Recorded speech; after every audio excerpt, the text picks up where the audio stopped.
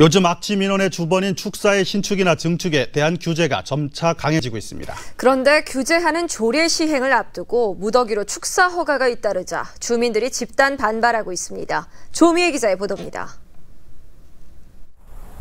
진천의 한 들판. 경지 정리가 잘 된 논과 시설하우스 사이 대규모 축사가 4개 들어섰습니다. 주민들은 냄새와 파리 때문에 농사와 일상생활에 애를 먹어왔습니다. 새까맣게 들어붙어요. 그냥 뭐 이렇게 팔이고 뭐 그냥 그래 킬라를 갖고 댕기고 뿌려도 자꾸 들어와. 그런데 이곳에 조만간 축사 8동이 더 들어설 예정입니다.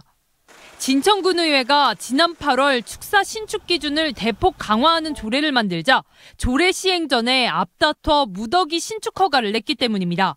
특히 거리 제한에 대한 게 강화된다는 그런 것 때문에 많이 몰려서 들어온 것 같아요. 올해 신규 허가 난 곳만 30곳.